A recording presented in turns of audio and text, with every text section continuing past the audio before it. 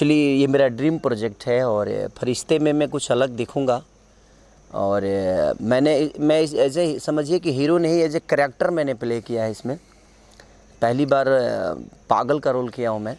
और आप, मुझे लगता है कि करके बड़ा मज़ा आया। और लाल बाबू जी जो कि इस फ़िल्म के डायरेक्टर हैं, हमारे बाबा अरविंद तिवारी जी इसके राइटर हैं। और प्रोड्यूसर हमारे रेड्डी साहब हैं, जो कि साउथ से आते हैं। और मेघाश्री भी साउथ से आती हैं। मैंने इसमें जितने भी करेक्टर हैं सरधा जी से लेकर अमित शुक्ला जी से लेकर, हमारे म्यूज़िक डायरेक्टर कृष्णा बेदर्दी जी, मैंने सबने अपना हंड्रेड एंड टेन परसेंट इसमें काम किया है। और एक अलग मूवी बनी है ये। मुझे लगता है कि जब आप थिएटर जाएँगे तो कोई भी आदमी जाएगा तो वो निराश होकर नहीं आएगा, क्योंकि इसका एक अलग लेबल है। और इसमें आपको एक अलग एक्ट देखने को मिलेगा कि रेगुलर सिनेमा नहीं है ये। एक इमोशन है, एक पिता और पुत्र की। क्योंकि कैसे मैंने प्यार को पाने के लिए इंसान क्या से क्या करता है, अपनों को पाने के लिए क्या से क्या करता है। और ये पूरी शूटिंग हम लोगों ने लखनऊ में की थी। तो जितने भी इस टीम से जुड़े हुए हैं, चाहे वो कैमरा मोन हमारे प्रिंस जी हों या विजय दास जी, जो कि हमारे मुझे प्रोडक्शन कंट्रोलर थे। और जितने लोगों ने इसमें काम किया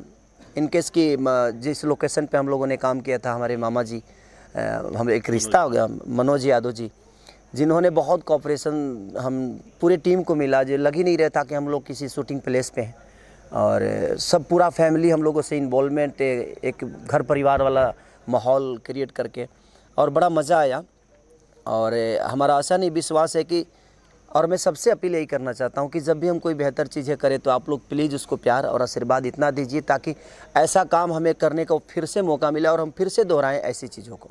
जैसा मैं पोस्टर में देख रहा हूँ सर ये जीवित हो जा रहा है।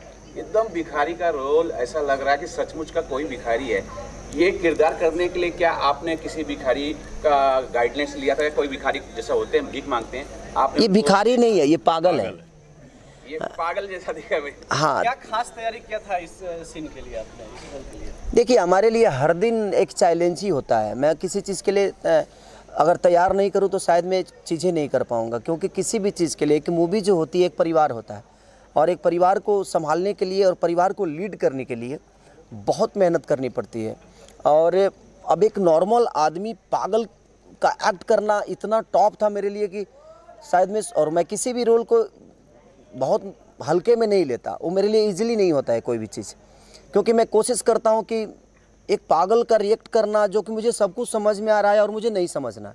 तो वो बहुत टॉप जॉब था मेरे लिए कि उतने देर तक मुझे लगा कि मैं ऐसे ऐसे मैं घर पे भी आया था तो मैं दस दिन तक ऐसे ही से ही कर रहा था। इतना उसमें घुसना पड़ा मुझे कि मैं, मुझे लगता है कि मैंने 22 दिन नहाया ही नहीं था। मैंने 22 दिन स्नान ही नहीं किया। मैं बोला कि नहीं, मैं, मेरे बॉडी में रहने दो सब कुछ। और मैं इसी में सो जाता था। इसी ड्रेस में भी सो जाता था कभी कभी ऐसा लगता था तो अब बिस्तर भी गंदे हो जाते थे, उसके बावजूद भी मुझे लगता कि नहीं, मैं अगर रहूँगा तो इसी में रहूँगा। और वो बारह से तेरह दिन का, बारह से तेरह दिन का। बारह से तेरह दिन ये मेरा करेक्टर था और उसमें मैं इतना किसी से भी बात करता था तो यही मेरी हाथ हाथ पूरा मैल लगे मैल हाथ में भी मैंने हाथ समझिए कि खाना भी खाता था तो चम्मच से खाता था कि नहीं हाथ भी नहीं धोना है मुझे। हर चीज़ मुझे रियली करना है। तो टॉप तो होता है ऐसा नहीं कि कुछ भी इजीली होता है और आपको सब कुछ समझ में आ रहा है आप सुन रहे हो और नहीं सुनना है आपको। तो वो कितना टॉप होता है। आपको डांस आता है और आपको विदाउट मैंने ऑफ़ बिट नाचना है। तो वो कितना टॉप होता है? तो कोई भी चीज़ आपको आता है और आपको गलती करना है। तो कभी कभी गलतियाँ भी इंसान को बहुत बड़ा एक्टर बना देती है। और इसमें हमको गलतियाँ ही करना था और हमने की है। अब पब्लिक को कितना पसंद आएगा? एक बार जब आप जाएँगे तो ज़रूर। अब ये लोग एडिटिंग पे बैठे, मैं जब डबिंग में गया तो मैं ही खुद कम से कम 20 से 25 जगह ऐसे थे जहाँ पे मेरी आँखें भर गई और मैं डिस्टर्ब हो गया थोड़ा सा। तो बनी है ये सिनेमा और मैं चाहता हूँ कि आप सब ऐसे सिनेमाओं को प्यार और स्नेह दें। सर, ये बात बहुत बड़ी बात है कि आप दस दस नहीं नहाए हैं, एक किरदार को जीवित करने के लिए। शायद यही एक कारण है कि आपको जनता बहुत प्यार करती, बहुत बहुत ज़्यादा प्यार करती है। सर, ये भी जानना चाहेंगे कि आप इसमें जैसे बता रहे हैं कि मेगा श्री भी हैं। मेगा श्री के साथ आपकी एक फ़िल्म भी आई जो कि सुपरहिट हुई है। तो किस प्रकार का बॉन्डिंग शेयर करते हैं, सर? देखिए, मेघा एक बहुत सुलझी हुई आर्टिस्ट है और वो अपने काम को लेके बहुत सीरियस रहती हैं। जब भी वो सेट पे उनको अगर सात बजे वो खेसारी टू है, कि अगर उसको सात बजे आना है तो उस लड़की को आपको बोलना नहीं है। वो सात बजे विथ मेकअप रेडी होके और अपने, क्योंकि हमारे भाषा से नहीं है तो थोड़ा लैंग्वेज उनको प्रॉब्लम होता है तो वो सीन मांग लेती हैं और वो कब याद कर लेती है पता ही नहीं। हाँ फिर अगर सीन से हट के कुछ डायलेक्ट चेंज करेंगे तो उसको प्रॉब्लम होता है। और हम लोग को काफ़ी चीज़ें ऐसी होती है कि सीन से हटके और अचानक से कुछ डायलेक्ट दिमाग में आता है तो उनको फिर आदमी प्राउंटिंग देता है कि नहीं, आप ऐसे इसको थोड़ा सा चेंज है।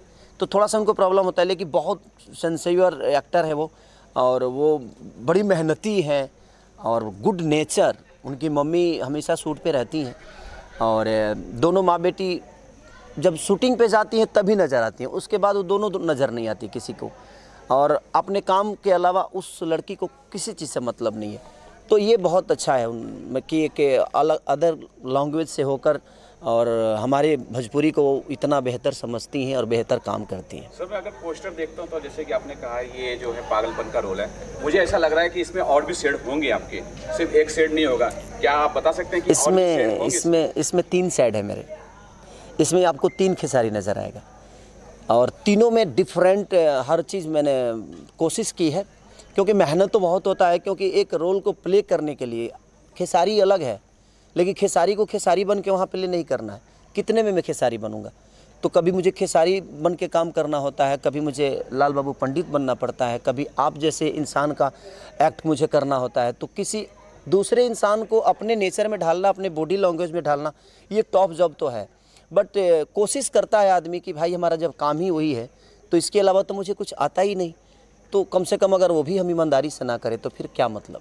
लाल बाबू, पंडित से जानना चाहेंगे। सर, ये बताइए, केसारी लाल के बहुत बड़े फैंस हैं। और आपकी एक गलती, आपको फैंस बहुत सारी गालियाँ भी दे सकती है। केसारी लाल जी के अलग अलग डिफरेंट रोल दिखा रहे हैं। आपको लग रहा है कि लोग उसे पसंद करेंगे? कितनी कुछ आपने मेहनत की उसमें?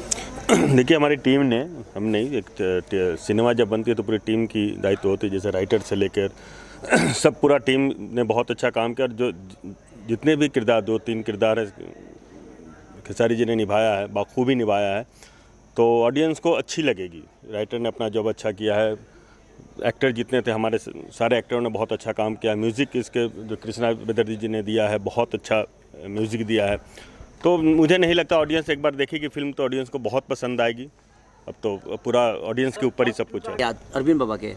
अरविंद बाबा एक अद्भुत राइटर हैं और ये हमारी मिट्टी से हैं और इन्होंने जब भी कुछ लिखा है तो कुछ अद्भुत लिखा है। और इनके साथ काम करके भी मुझे बहुत मज़ा आता है और क्योंकि ये मुझे समझते हैं और मेरे गाँव के बगल के हैं और मेरे ननिहाल से हैं ये।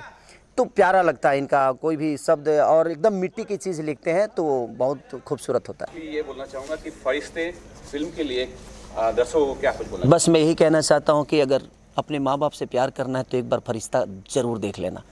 आपको लगेगा जी एक मोहब्बत को पाने के लिए इंसान किस हद तक गुजर सकता है। Thank you